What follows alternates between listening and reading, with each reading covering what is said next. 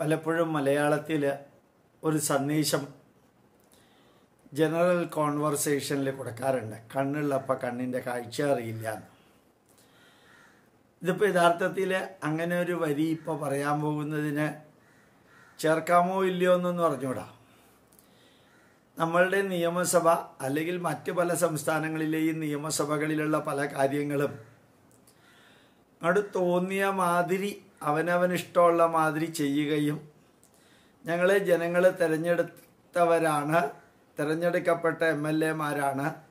ഈ ലോകത്തിൽ ഞങ്ങളെ ചോദ്യം ചെയ്യാൻ ലോകത്തിൽ ആരും ഇല്ല എന്ന ധാരണയിൽ മുമ്പോട്ട് പോയിക്കൊണ്ടിരിക്കുകയും ഞങ്ങൾ എന്ത് പാസ്സാക്കിയാലും ഗവർണറുടെ അടുത്തേക്ക് അങ്ങോട്ട് അയച്ചാൽ ഗവർണർ കേരളത്തിലെ ചോറും സാമ്പാറും തിന്നുന്ന സ്ഥിതിക്ക് അയാൾ അതിന്റെ മുകളിൽ റബ്ബർ സ്റ്റാമ്പ് മാതിരി ഒപ്പിടും അത് ചിലപ്പോൾ ഉറക്കത്തിലാണെങ്കിലും ഇടും ബാത്റൂമിലാണെങ്കിലും ഇടും ഏത് രീതിയിലാണെങ്കിലും അയാളുടെ മുമ്പിൽ വരുന്ന പേപ്പറിലൊക്കെ അയാൾ ഒപ്പിട്ടോളും എന്നൊരു ധാരണയിൽ പണ്ട് ഒരു ഗവർണർ അല്ലെങ്കിൽ പണ്ട് വരെ ഒരു ഗവർണർ സദാശിവം എന്ന് ചിലർ പറയുന്നു വേറെ ചിലർ സദാശവം എന്നും പറയുന്നുണ്ട്.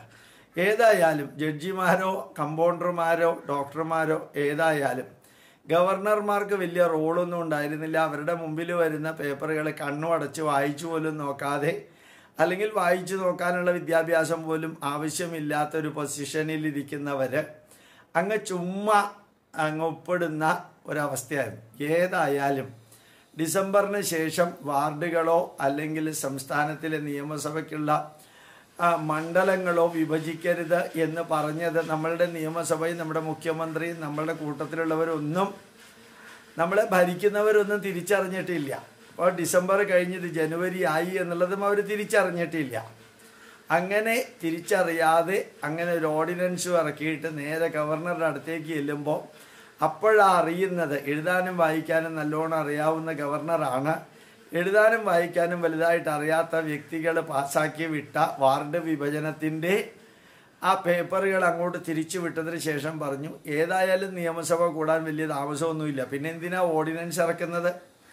എന്ന് പറഞ്ഞു എന്ന് മാത്രമല്ല ആ ബില്ല് തിരി ഓർഡിനൻസ് തിരിച്ചയച്ചില്ല. തിരിച്ചയച്ചാൽ അവർ ബില്ലായിട്ട് തിരിച്ച് ഇതേ ഗവർണറുടെ നെഞ്ചത്തേക്ക് വിടും. ഏതായാലും അതങ്ങ് കയ്യിൽ വെച്ച് ഞാൻ ആലോചിക്കാം. നിയമസഭ തുടങ്ങിയതിന് ശേഷം നിങ്ങൾ വേണമെങ്കിൽ പാസ്സാക്കി അയക്കുക പക്ഷേ ഇലക്ഷനുമായിട്ട് ബന്ധപ്പെട്ട് കേന്ദ്ര ഗവൺമെന്റിന്റെ ഓർഡറും നിയമവും നിലനിൽക്കെ അത് ലംഘിച്ചുകൊണ്ട് ഒന്നും ചെയ്യില്ല. നിങ്ങൾക്ക് ഇഷ്ടമുണ്ടെങ്കിലും ഇല്ലെങ്കിലും.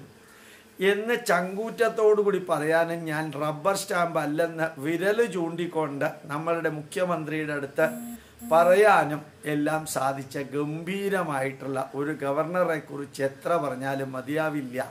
എന്ന് നമ്മളിൽ എല്ലാവർക്കും അറിയാമെങ്കിലും ഇവരെ ഒന്ന് ശരിക്കും ലോകത്തെ അറിയിക്കാൻ ഈ ഗവർണർക്ക് സാധിക്കുന്നുണ്ടെന്നുള്ളതാണ് സന്തോഷകരമായ കാര്യം.